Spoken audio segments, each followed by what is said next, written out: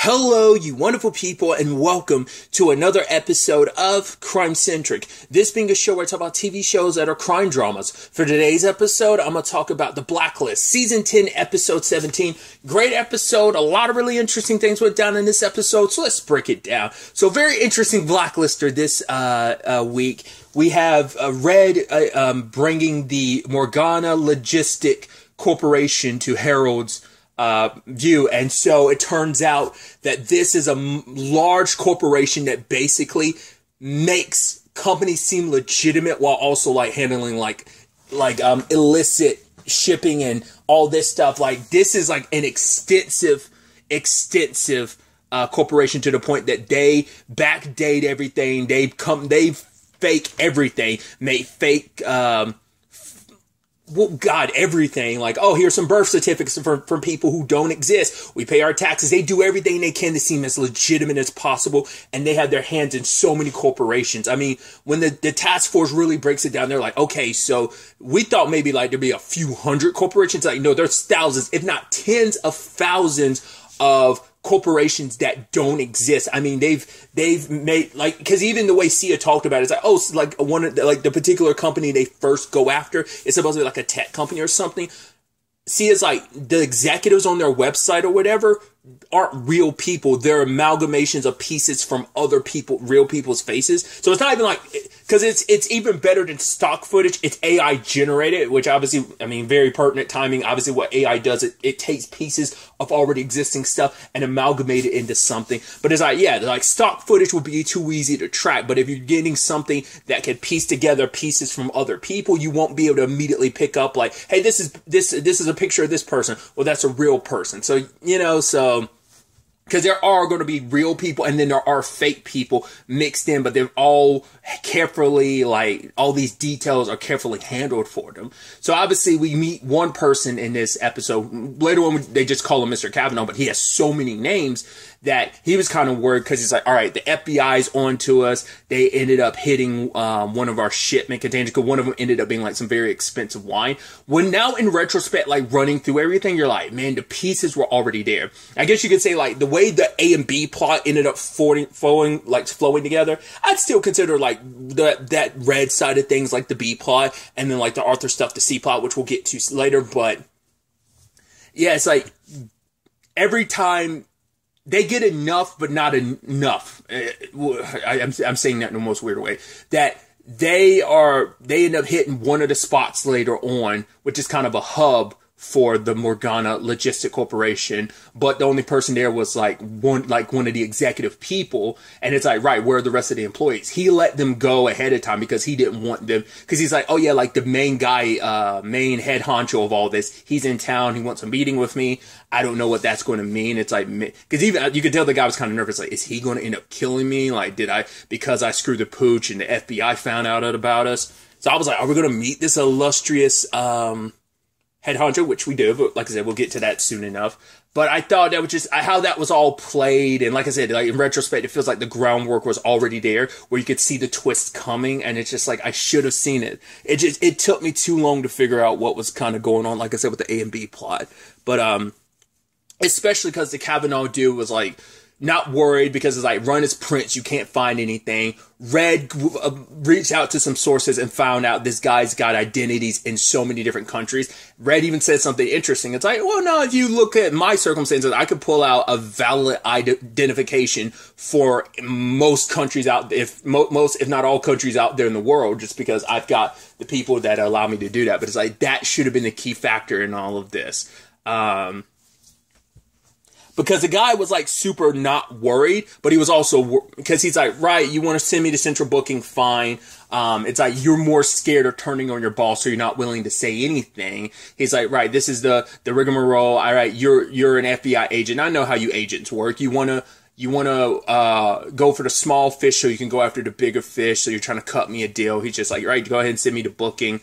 So they couldn't find anything, but Red's the one to who found everything. But I guess it's also befitting that it would be Red who would have all this information about all these different aliases. I wonder, did he actually have to look around, or did he already go like, yeah, I've already got all this, so like, let me just like, because, because that's what I'm wondering, like this must be so okay.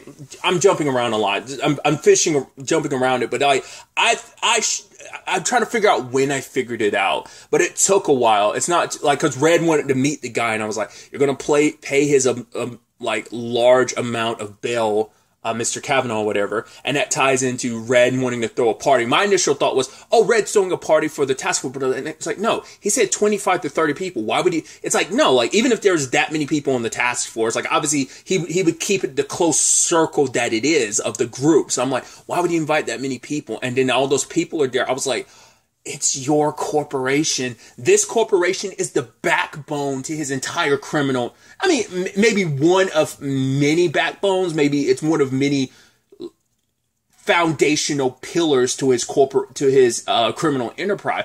I was like, you're burning it to the ground. I was like, interesting, because he made sure like any employee, like the only people, like even with like all the arrests that have been happening internationally, because like Paris is the main hub. They ended up going there. Like a lot of the, the place, the, the servers and stuff were still warm, so they had just left. There had been some arrests around the world, but it only been like lower level employees. I mean, in the grand scheme of things, it works out for the task force because like, yeah, we might not have had any arrests, but we still had the work to show that we took down a corporation that has like been all over the place internationally. But Paris was kind of like the main hub, and they had different hubs around uh, the world and stuff. So, but only like lower level employees got um, taken care of, and all the executive, like higher up people, are going like, because it's like, how is it that they knew we were coming? It's because Red tipped them all off, so they knew the FBI was coming because he's willing to sacrifice because Red is burning his entire criminal enterprise his connect like he's like returning all the favors there was the guy the the uh oh god I'm blanking on his name. He's the guy who has like the connection with all the um, maids and everything that works in hotels. That guy, Red tried to help him out early in the season, but he's like, no, no, I've got a big enough nest egg because of what you do, and I'm building out my operation. And Red's like, oh, like, congratulations, because Red was even staying at his place for like a day or two. That it's Red is trying to pay off every favor. He's also like trying to put himself in a position where he's severing connections with everyone so that whenever his situation falls apart, no one connected to him follows. Like anyone that's been loyal to him all these years, he's paying them out. Like these executives, it's like, right, this beautiful thing we made is coming to an end because he even told Andrea about the party. He's like, yeah, this is going to be the celebration of beginnings and ends. You know, spring is coming. And I'm like, because this thing. Like he wanted to make sure all these executives were taken care of, even kind of making it imply like, hey, the employees that got arrested, or whatever, they're getting taken care of too. Like everyone's going to walk away okay. Yes, the, the the thing that we've built, something spectacular we've built, is is gone now. But you know it. You know you guys will never have to work a day in your lives. Like he's taking care of everyone. Um, it's just like the the the the um the backbone of what this was, the Morgana Logistic Corporation is gone. And I don't think Cooper and them are that of, of, the wiser of it. And that's why I'm curious, like, was this something that even Dembe wasn't aware of? I mean, he was out of like, he wasn't investigating all of this. So, but I'm, that's why I'm, I think it's so interesting because I don't, because I was about to say, out of anyone, Dembe would know about this. Like, he knows this is something that's been going for years. So Dembe would know about this, like, because he knew all of, like, Red's connections and stuff. So now, I mean, part of me wonders, is that also why he didn't want Dembe like uh that i mean for one he wanted to spend time with dembe but it also made it easier to cover up what he was doing because dembe would be able to figure out wait the morgana and that's where because he was kind of probably kept out of the loop of this investigation. It's like hey focus on protecting red. But it's like yeah he wanted dembe out of the office so this could all go down because dembe will probably later on be like wait you you took down the morgana corporation? It's like yeah that's the blacklisters we got. That's the foundation of red's it's like wait what? Red sacrificed his for what purpose you know because everyone's already worried about him because they're just like mm, something's off with Red. He just he doesn't seem him like he he seems himself, but he's so cavalier about everything. But it's like there's something going on. So, but like I said, he's just razing everything to the ground, but also not burning the people, burning the institutions and the corporations, the things that they like have been a part of. But like I said, he's just severing all connections and ties to himself, and I'm assuming that ties into the C plot with Arthur. So either way, uh, kind of, uh, I just thought that was so, be- like I said, beautifully dumb, just connecting, like, like I said, the A and B plot in that regard, and also potentially connecting that, obviously, to the C plot once again, he I think he did that to get Dembe out of the way, but also he wanted to spend time with Dembe. I love that it's like because Red set this all in motion because it's like for one he's like, oh yeah, I had a break in. It's like who was it? And he's like, oh don't worry about it. And he was in, in the innuendos. He was like, yeah, I ended up on top. It's like shut up, Red. She's like, you need because Wisha was like, you need a bodyguard. He's like, I need a girlfriend. She's like, oh, kind of good luck with that, you know. And I even love Dembe. He was like, you got three guesses, and if you get it wrong, Dembe, you drop it. And it's like, was it this person? It's like, no. Was it this person? No. And it references one person. He's like, what? Why would she even be still mad? I don't even remember what I actually did to that person. So, it's like, no, Red, you definitely remember what you did. So, I guess a jilted ex-lover or something. Uh, the, one of the people he referenced that was the one, uh, Red was kind of like, what? No. Uh, but it's like finally he gave in. It was like it was Weecha. It's like why'd you make it seem like to Harold it was someone else? He's like I don't know what Weecha's intentions are and stuff like that. Playing so coy. He's like I I love it. Um, but for Red, he was like, yeah, I, I, could tell Harold was worried about me, so I saw an opportunity. Plus, I wanted to spend some time with you, Dembe. I even love it. It's like, I love where they were talking on the phone. Dembe was giving, he said, no, you should go this way. He's like, no, this would be faster. He's like, you just started driving yourself around. How would you know what's faster? And it's like, see, no traffic. And it's just like, they had a great meal and everything. And I just love Dembe's final words to him be like, I miss you too, Red. And I, it was just, it was just kind of nice because he had brought it up before. It's like, no, we, we should spend time together because whatever is happening, whatever's coming, whatever Red has planned, dissolving everything, he knows that he won't be able to hang out with Dembe. This is the end, and maybe not just the more infrastructure of his enterprise, but maybe once again, either Red is sick and he knows he's dying. He was sick before, like not unless he knows he doesn't have that much time left, or whether he's going out in a blaze of glory, like you know, not equating it as a blaze of glory, but my thought has always been like.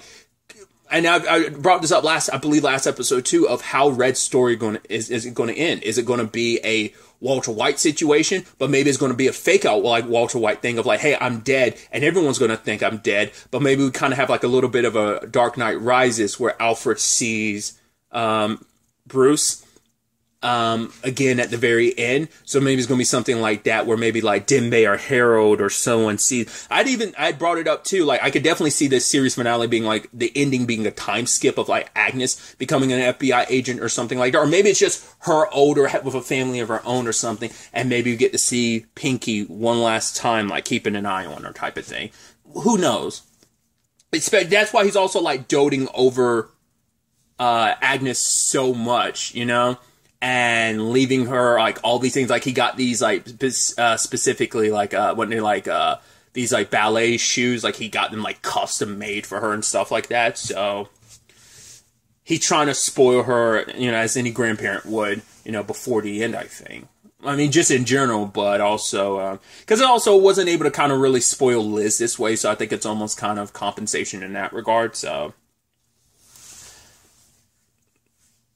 I'm just I'm just so curious. Next episode of that conversation is going to come up. Like, mean, once again, maybe this is something Dembe had no idea about, but I feel like it's too big and it's too important to Red's organization for it not to be something Dembe knew about. It ain't like this is something that popped up recently. Like this is something that's been in the works for years and years and years. It's been a foundational part of his organization, I'm sure. So it has to be a thing of like Dembe knows. So when the conversation comes up, like I, I hope that is a conversation we get next episode of like, wait, this is what you took down. Yeah, that's connected to Red. It's like, wait, it's like, is that why Red also had me not in the office like investigating this because of that? So it's definitely going to be interesting to see. But getting to the C plot, Arthur, like they thought, like, hey, we dealt with this Arthur thing, but it's like, no, Blair gave him a starting point, but he got an even different starting point in this episode. So, okay.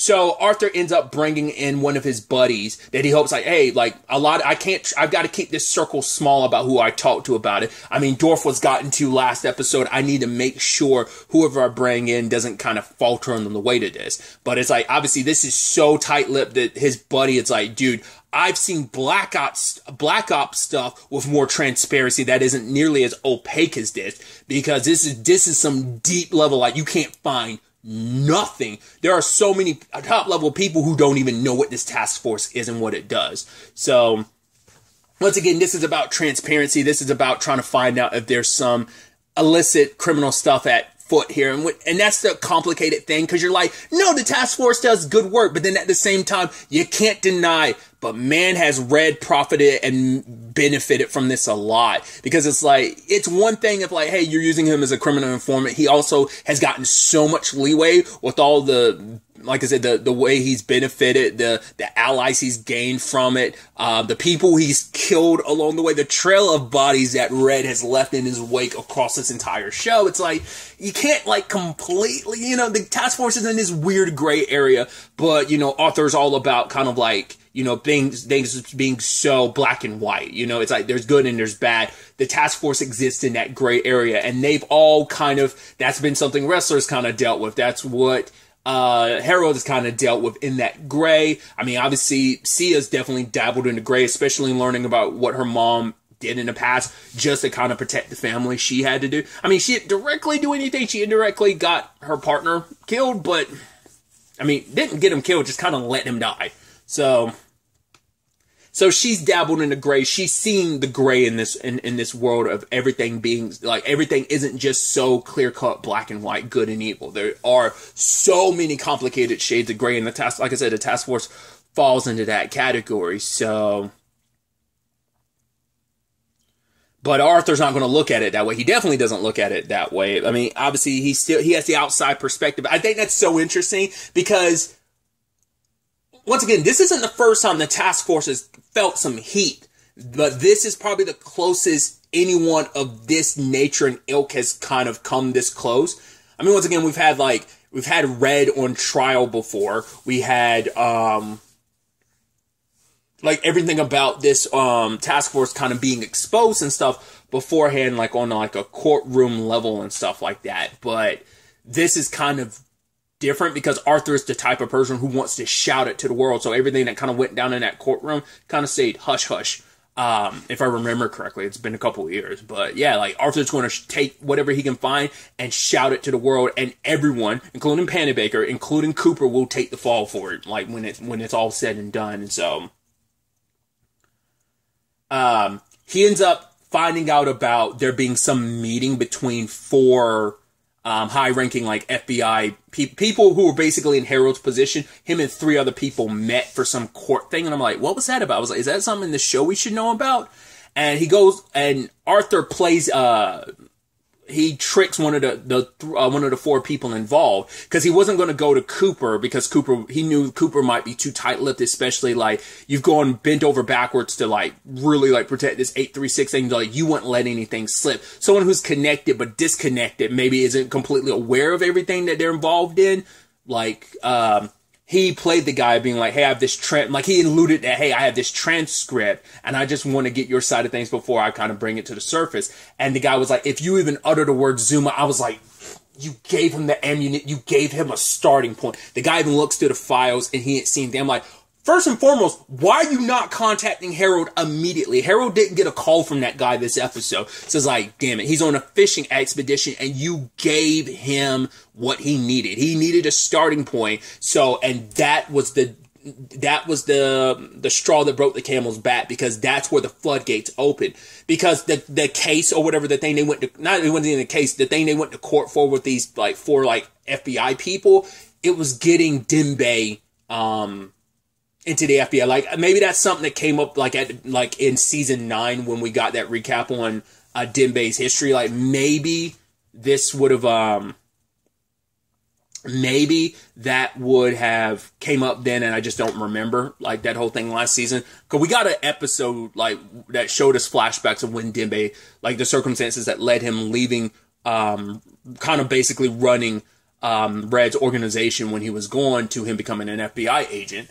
So now that and that all connects to a photo from a couple years back that was ran in the newspaper, which ties into that photographer that was working for Wu Jing who took the picture of Red all those years ago, and he said like, "Hey, I got this picture of the back of Raymond Reddington's face, but no one believed me." On that photo is also the photo of Dembe, so it's like that was introduced this season, and now it's also coming back. I was like, "Oh, dude!" So it's like, "Hey, I believe this is Red," and he starts connecting all the dots about okay, this is uh, Red. Here's Dembe. Oh, um, Elizabeth Keen went on the run with uh, Reddington, obviously at the end of season two, but majority of season three.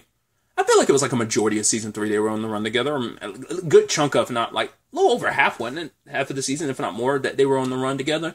Um, also that Harold adopted Liz's daughter. Then also Claire, not to say Claire, Blair gave him, gave her, cause I don't, she probably like, cause Ressler's the one part of that organ, um, of the task force she investigated. Well, one of the agents that was a bit, so I guess maybe she couldn't find anything enough on Siya, maybe because Siya didn't have a deep enough history with the FBI or whatever, but Ressler was her in and she gave that to Arthur um, so I, that's why I'm wondering are we going to get any more Blair, or is that just the only time we're going to get Blair?